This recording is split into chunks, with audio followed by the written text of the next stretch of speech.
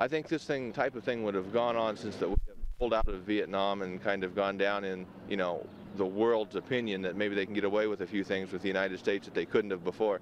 I think that, you know, if our ships are attacked in international waters, which, as I understand it, is what happened, I think that he was com completely within his rights and powers to do what he did. It's lucky that it turned out the way it did, and this probably makes a hero out of him, whereas he would have been a scapegoat if it had failed, but it still was the best he could do. I think President Ford was correct in sending the military over to help in the Mayaguez situation. Well, after they waited so long and uh, they were ready to deal, no. But if he had done it immediately, then I think maybe for once I would have been in favor of it. What is your opinion of the troops going over yesterday? Well, I think it probably was okay. I want them to know that we mean business, and I think it was an act of ag aggression. Um, I don't want to get into another scrimmage, however, but uh, I think they, if they can get by with it once, they get by with it again. I don't believe in using military force in order to get a point across. I'm a believer in diplomacy. The word, the power of the word is a lot more um, subtle, and more, much more effective than the power of the sword. I think that we could have talked things out and gotten things done and kept our image up a lot better than using force. We've used force much too often and it's starting to get outdated.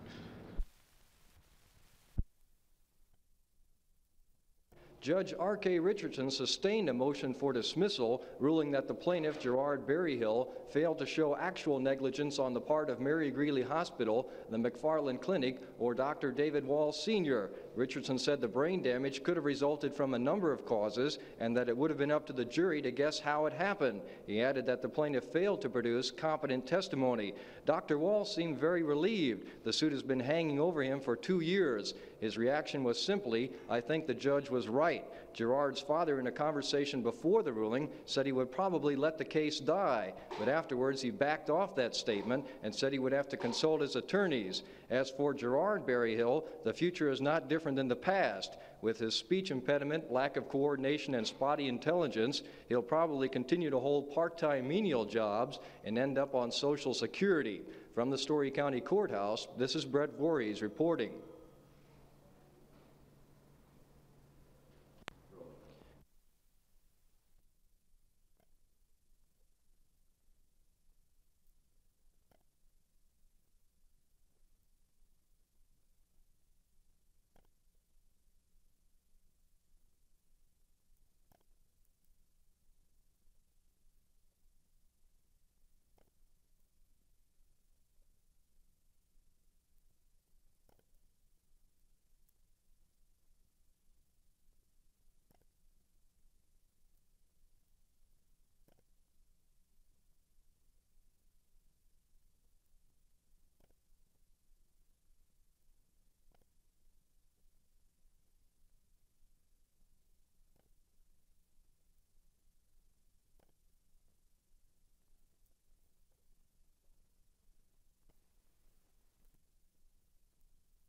One of the basic tenets of our system of government is a basic belief in the collective wisdom of the trial jury. But a recent research project by a Drake professor seems to say that the jury system is not only less than perfect, but that many lawyers don't know how to use the jury to their advantage. Dr. Robert Forston of the Drake Department of Speech Communication studied the petit jury systems in Iowa, Minnesota, and Illinois for six years. And as a result of his findings, he says the time-honored judge-jury and lawyer-jury relationships need changing.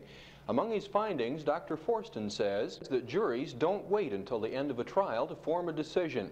So he says lawyers who wait until then to present most of their evidence will not usually be successful in winning a case, in spite of the fact that that's how Perry Mason usually does it. Dr. Forston says trial lawyers should be more involved in jury selection and they shouldn't play up to the foreman. Although the foreman is usually believed to be the leader of a jury, he says that's only the case about half the time, and normally two or three jurors are primarily responsible for formulating a jury's thinking and reaching a decision. Finally, Dr. Forston believes that juries have only an imperfect picture of their duties and that judges should give them more extensive instructions, not just at the end of testimony, but throughout the trial. Under the present ground rules, he says, juries simply don't have enough training to make a quality decision. This is Kurt Winkler reporting.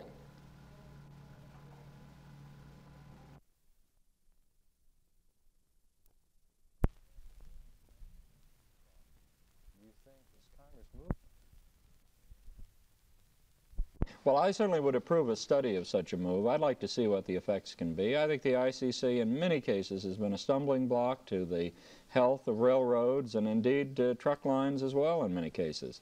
Uh, I'm not sure that we can get along without any ICC, but I think it could be uh, greatly streamlined and modernized. I'm not sure that we couldn't get along without it, but I'd like to see the facts in that matter. Regulatory agencies have a way of getting out of hand.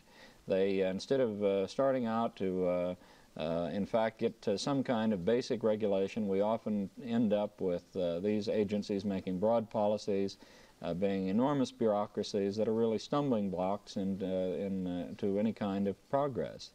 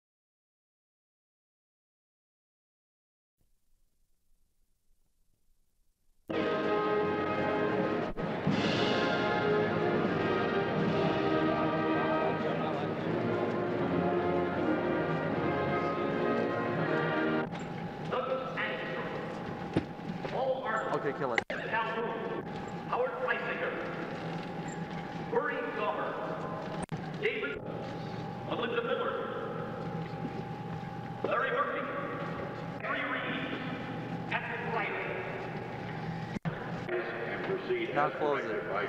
Yeah. Bruce Lacer. Gerald Calloway.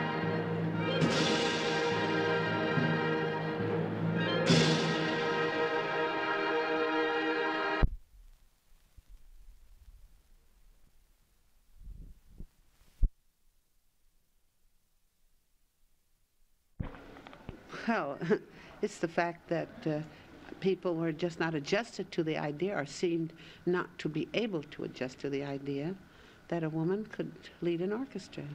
And I don't understand why not, really, because uh, people mix in life and they should mix in this sort of thing too. And it has nothing to do with uh, man or woman, it has to do whether one is talented, born with talent for music or for anything and it doesn't relegate itself to one sex, just that they have been denied opportunities right from the beginning.